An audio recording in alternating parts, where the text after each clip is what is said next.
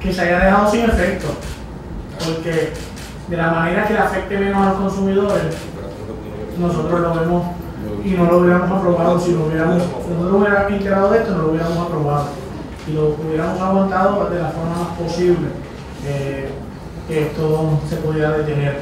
No obstante, una vez se aprobó, nosotros entendemos que nuestra responsabilidad constitucional es velar porque las leyes que se aprueban por esta Asamblea Legislativa eh, se. Se respeten, y no lo digo por el compañero el presidente del Banco Gubernamental, sino lo digo en términos generales.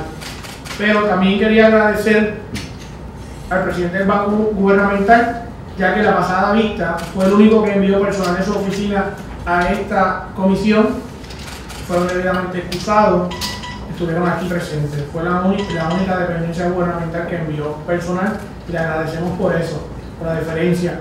Y hoy, la mañana de hoy, es el único que está aquí dándole la cara a esta Asamblea Legislativa, que está dándole la cara a esta comisión. Le agradecemos también por estar en la mañana de hoy eh, informándonos a los compañeros legisladores sobre eh, el asunto que le traemos ante su consideración eh, de, parte de, de parte del Banco Gubernamental de Fomento. Así que agradecido por ejercer sus oficios de manera correcta. Dos de la tarde al secretario del Departamento de Asuntos del Consumidor bajo apercibimiento de sacado que venga ante la comisión a comparecer aquí, como lo ha hecho el presidente del Banco Gubernamental de Fomento, ya que la mañana de hoy no enviaron ni tan siquiera un funcionario a esta comisión para excusarlo por alguna gestión oficial que éste esté realizando o si se encuentra fuera de Puerto Rico.